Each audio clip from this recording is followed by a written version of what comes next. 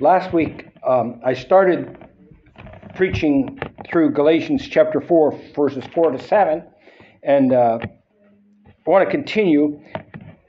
Didn't say much about this letter, so I'll say uh, this morning the letter was written by Paul um, to the churches in Galatia.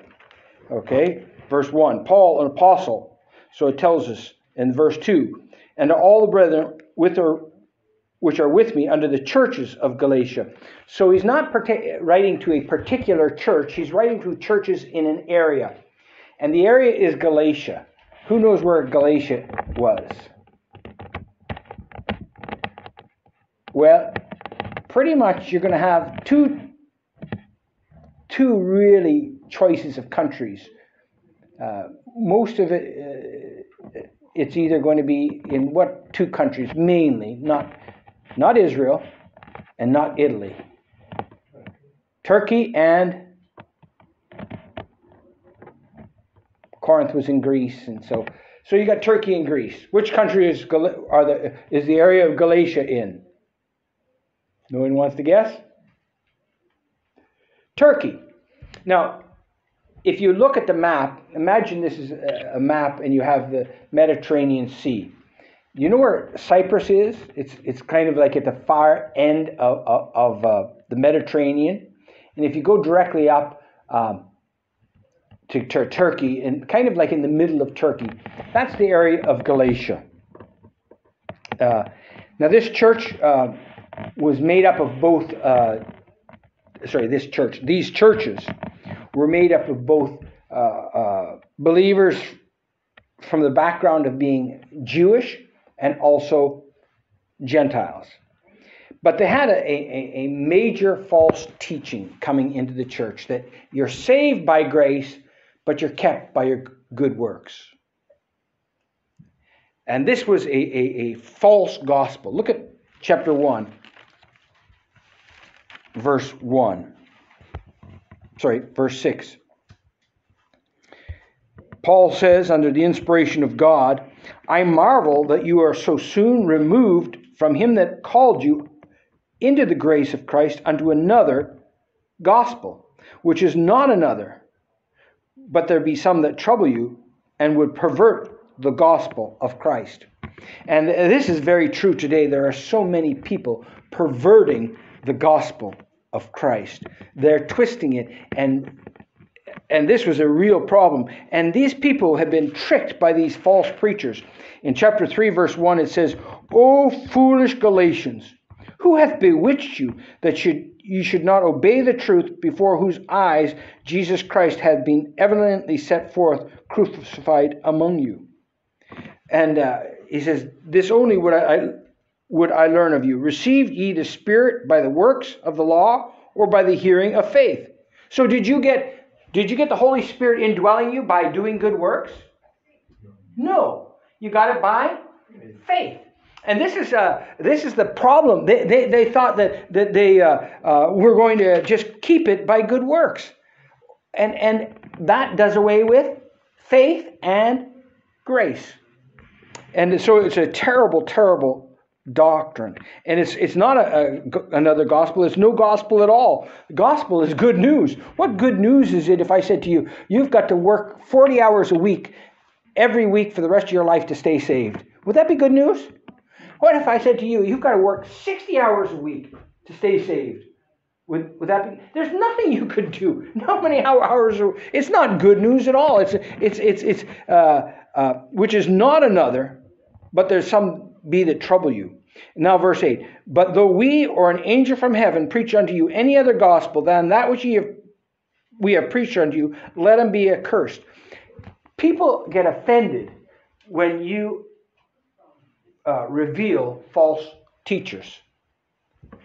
Paul said, uh, by, by inspiration of God, these false teachers should be accursed.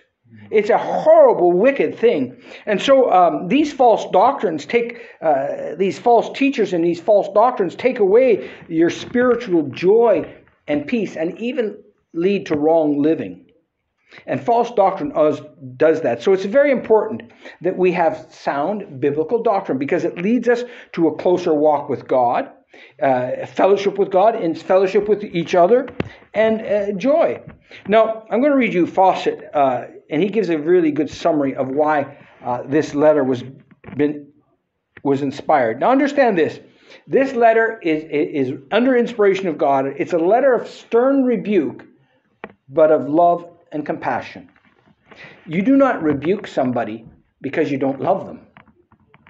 If uh, listen, if I see somebody uh, walking down the street drinking out of a whiskey bottle and smoking cigarettes, I'm not going to say anything to them. Why? I'm, well, no, no, not even that. But you know, I don't really know the person. I don't have any contact with them.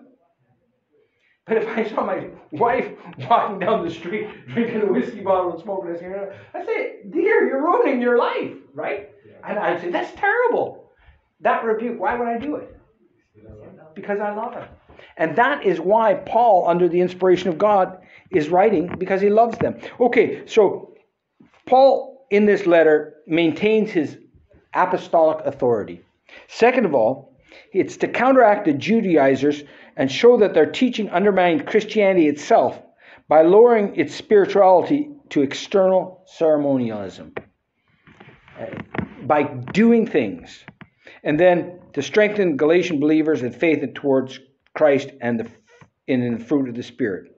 So last week, I covered verse 4 about how Jesus Christ gave himself.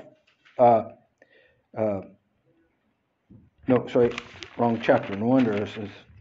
But when the fullness of time was come, God sent forth his Son, made of a woman, made under the law. So I covered that last week. If you didn't listen to the sermon, I, I would encourage you. It's on YouTube, it'll really help you grow spiritually. Now, we're on to verse 5. To redeem them that were under the law, that we might receive the adoption of sons. So I'm going to talk about the redemption today. To redeem them that were under the law.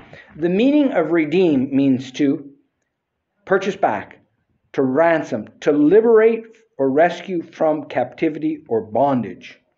Okay? To, to, to rescue from captivity or bondage um, or from any other obligation or liability to be suffer or to be forfeited by paying an equivalent. So redemption, somebody is forfeited something and somebody pays the equivalent to, to redeem them, uh, to repurchase what was sold, to regain possession of an alienated thing by repaying the value to its possessor. Notice redemption requires a payment of equivalent. So uh, I'm going to talk about that la- later, but it's right in the definition uh, by paying an equivalent. Well, let me ask you a question Did the law pay anything for your sins? No. So, how can the law save you? It can't by keeping the law. The keeping the law didn't uh, pay anything to to to uh, to free me. It didn't do anything, did it? Just that alone shows that salvation has to be by grace through faith. It is a gift of God. And so they needed to be redeemed, and keeping the law could not redeem him. And this really refutes the doctrine that, that you're saved by works and that you're kept by works because you are redeemed. Everyone's guilty. Everyone deserves judgment, and everybody needs to be redeemed. You know, two weeks ago on the doors, uh, and then again yesterday, I had people telling me they were going to go to heaven because they're a good person. And why am I good? Well, I keep the law. I do. I, I, I don't break the law. Well, you're wrong. You do break the law, and I tell them that. Uh, I said, Well, how good are you? Oh, I'm, I, I, I said, Well, did you ever lie and steal? Yeah, but I don't do that anymore. you broke the law. You need to be redeemed. That's why God says, as it is written, there's none righteous, no, not one. We're all sinners. And all have sinned and come short of the glory of God. Now, payment of equivalent has to be made what can pay for my sin? What is equivalent to my sin? What is equivalent to your sin? Well, good works aren't equivalent. Um, Sam, I come and, and, and while you're away and I steal everything from your house and, and, and, and I wreck it and I ruin it mm-hmm. and I come back and I say, well, I, but I gave Selvin 100 euros. Is that equivalent? No, it's, it's not going to satisfy your justice, right? The equivalent has to satisfy the justice of God. What is going to satisfy the justice of God? Well, God is perfectly holy and perfectly pure. So, whatever it is that's going to satisfy his justice to redeem me has to be perfectly holy and perfectly pure, right? Well, that's where grace comes in. Uh, and what, what happened? The blood of Jesus Christ. Ephesians 1, verse 7. Please turn there.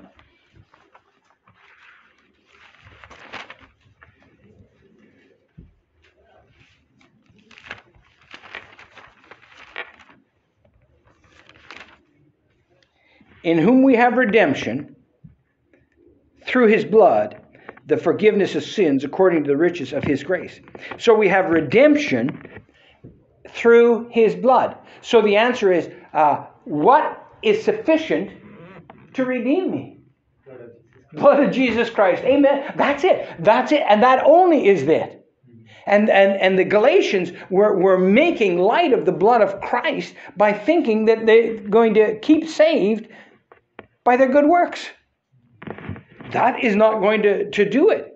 And, and, and, and go to Galatians chapter 5. It has to be accepted as the equivalent. We talked uh, last week, and I used the illustration. If I, I drove into Priscilla's car and, and I smashed it, and I said, Would you take 200 euros? And you said, What? No. I say, I'll give you two, thousand euros. She say no, but I, I say I'll give you twenty thousand euros. Will you accept that? She, would you be happy with that? She'd be very happy with that. She'd be driving a BMW next, right? Maybe not a BMW, but uh, nicer, a newer car, anyways. So it has to be accepted. It has to be equivalent and it has to be accepted. Now let's look at Ephesians chapter 5, verse 2. And walk in love as Christ also hath loved us and given himself for us an offering and a sacrifice to God for a sweet smelling savor. The offering was a sweet smelling savor to God. That means that God found it acceptable and he liked it. Right? It was sufficient. Uh, the Bible again says it in another way in Colossians 1, verse 14, in whom we have redemption through his blood, even the forgiveness of sins. My sins are forgiven by the blood of Jesus Christ because that was sufficient for my redemption. Look at Hebrews chapter 1.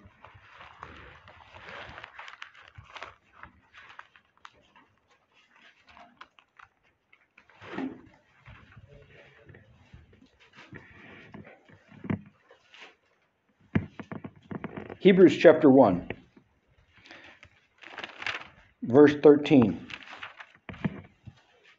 That's wrong. Verse, Hebrews 1, verse 3. Uh, well, I'll start at the start of it. Verse 1. God, who at sundry times in divers manners, what sundry times mean? Different, okay. God, who at sundry times and in different sorry, divers manners, which is different again, spake in time past unto the fathers by the prophets, hast in these last days spoken unto us by his Son, whom he hath appointed heir of all things, by whom also he made the worlds. Now, verse 13, uh, verse 3, sorry. Talking about the Son, who being the brightness of his glory, in the express image of his person, and upholding all things by the word of his power, when he hath by, by himself purged our sins, sat down on the right hand of the majesty on high. Jesus Christ purged our sins by himself. It is a finished work. And when on the cross, he said, It is finished. And what did he do in this verse? He sat down. We sit down when the job's done, right? It's done. It's done. Look at uh, Hebrews chapter 12, uh, 9, verse 12.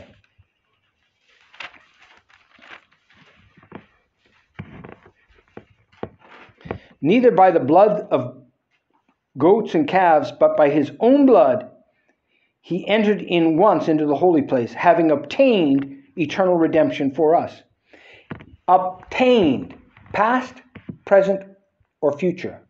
Past. He's obtained it already. It's done. It's finished. The price is paid. It's paid in full. Isn't that wonderful? Having obtained eternal redemption. So the price, I, I said, had to be of, of equivalent. And the blood of Jesus Christ was enough to cover every sin of every person that ever lived. Because it is the Son of God. God the Son shed his blood.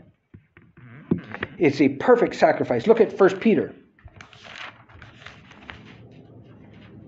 chapter 1. Verses 18 and 19. For as much as ye know that you were not redeemed with corruptible things, as silver and gold, from your vain conversation received by tradition from your fathers. So you weren't redeemed by corruptible things.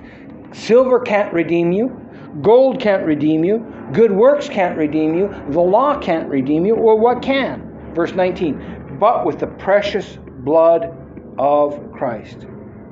As of a lamb without blemish and without spot.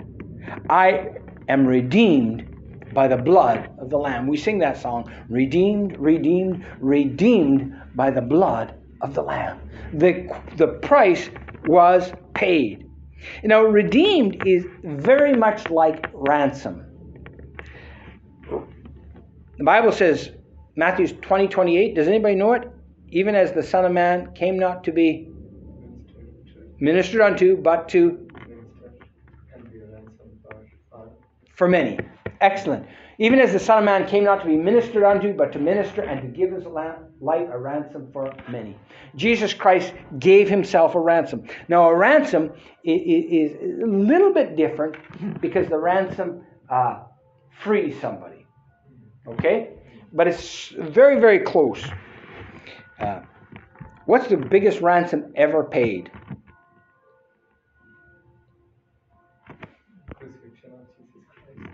Okay? On the earth, I'm going to talk about Jesus Christ in a second.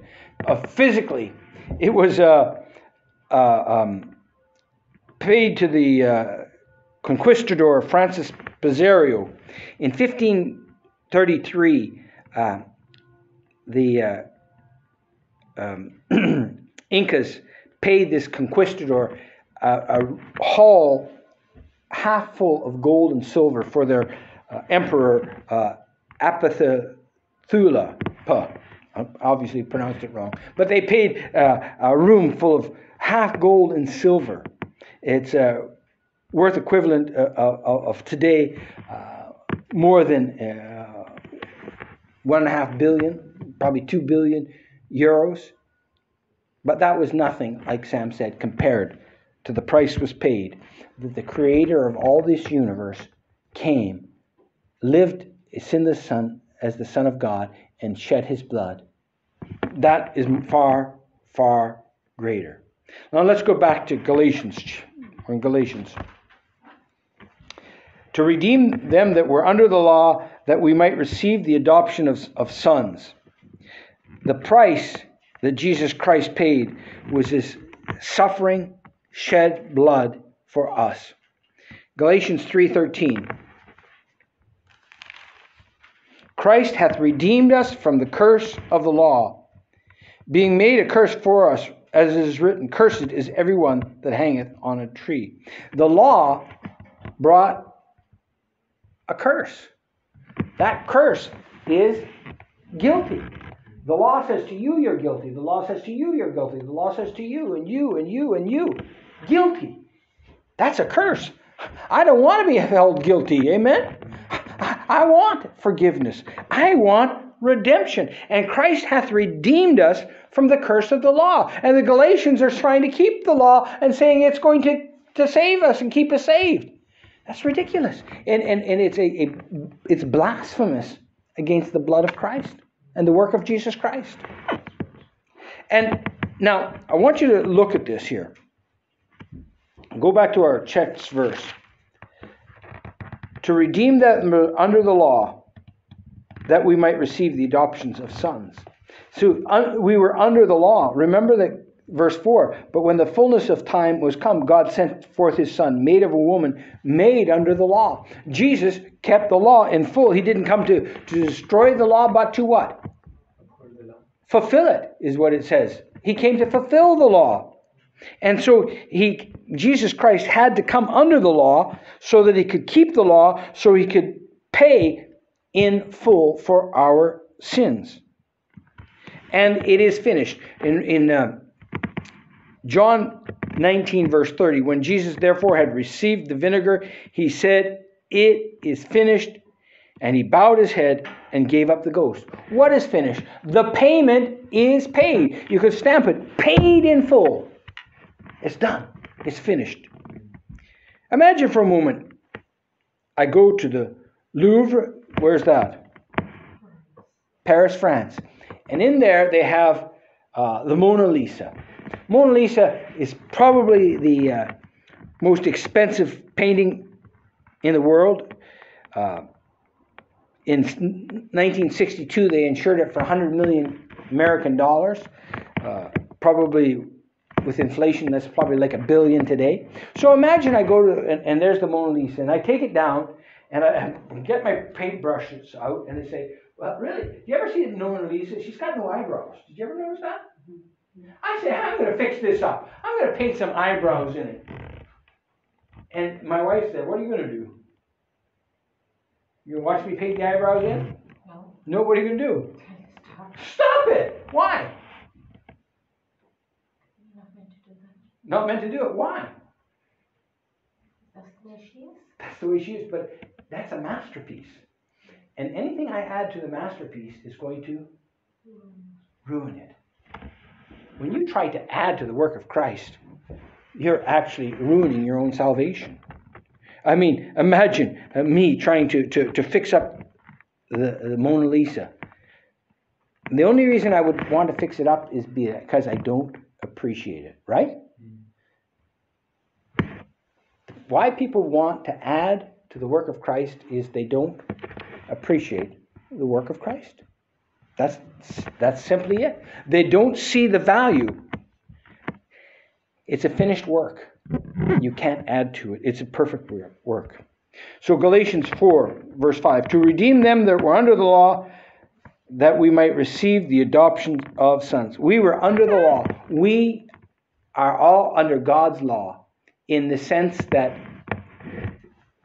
we have to keep it. Now, I don't keep it to get saved but I'm under the law, God still wants me to honor thy father and thy mother. Amen? God still doesn't want me to steal and covet. Uh, the only law that's not um, reiterated in the New Testament is what? Of the, of the Ten Commandments. Which, which one's not told us in the New Testament?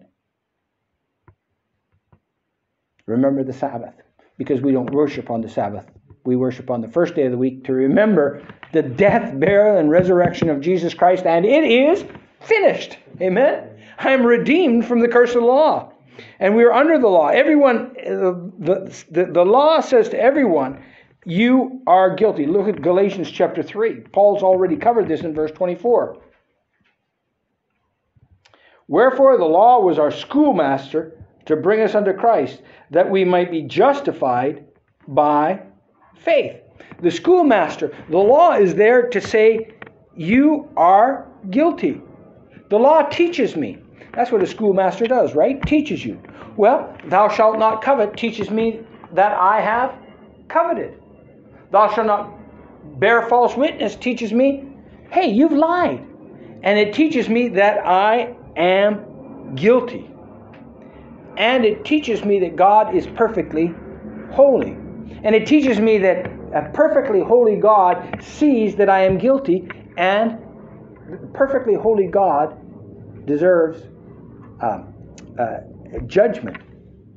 So uh, the law is teaching me that, and and and uh, for the, the Galatians to think that somehow keeping the law, whether it's a ceremonial law or the moral law, the moral law would be the Ten Commandments, and the ceremonial law would be all the other. Uh, they can't save anybody.